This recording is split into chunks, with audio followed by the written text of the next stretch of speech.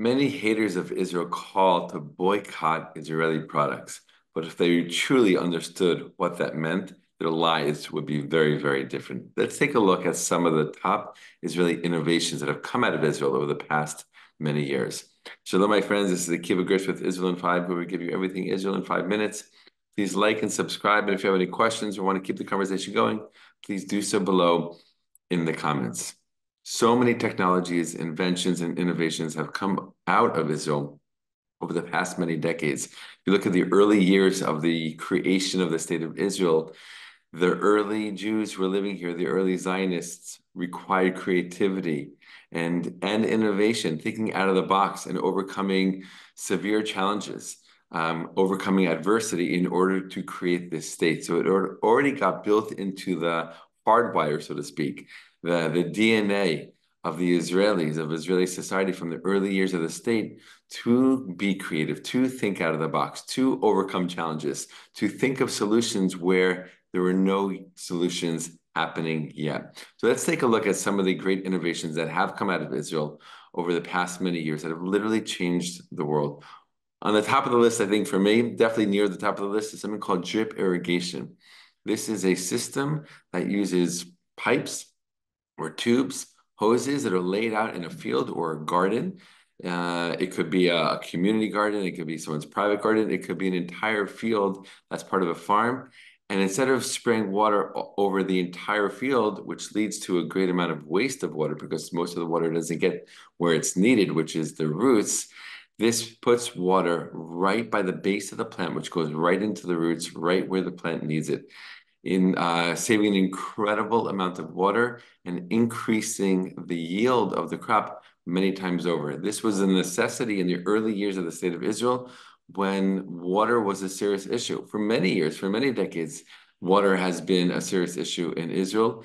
And drip irrigation, being used extensively throughout uh, the state of Israel, has been one of the solutions to Israel's water crisis. This technology has been exported to dozens and dozens of countries all over the world, helping people grow more food with less water, literally changing and improving their lives. Another amazing thing that has come out of Israel over the past many years is something called the PillCam. PillCam, it is a little tiny uh, camera that is placed inside of a pill, and the person swallows it, and it literally takes video of a person's uh, insides. And this helps doctors to um, better understand what's going on inside of a person's body related to any potential diseases or or um, serious conditions. And it basically allows the the doctors to know more information about the patient without doing invasive and painful surgeries and procedures. So this has been an absolute game changer in the medical field. Of course, so much technology has come out of Israel that eventually led to the cell phone, all kinds of microprocessors that are now used in almost everyone's laptops.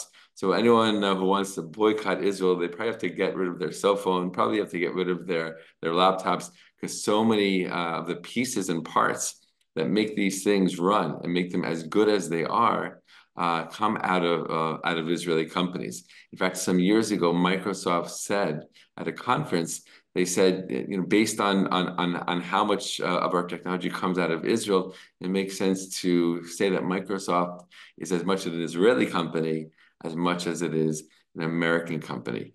Another incredible invention that came out of Israel is something called ReWalk. This allows people who have not walked in years, paraplegics who have lost use of their legs, who have been confined to a wheelchair and uh, have to deal with the limitations that a wheelchair brings to their lives this is a, uh, kind of like a technological exoskeleton that allows them to actually stand up on their own two feet and using the special device and these crutches that come along with it, start to walk. Some of the people who have used this device call it an absolute miracle, literally walking for the first time in so many years in their lives. So we see so many different inventions and, and, innovations have come out of Israel, things that have literally changed the world. So much solar technology has come out of Israel. Right? We live in the desert, we live in the Middle East. There's so much sun here, and um, so much solar technology that that has been again exported around the world, uh, improving lives, improving communities, and changing lives uh, have originated in Israel. So really, Israel is a country that's very, very tiny, has dealt with many large problems.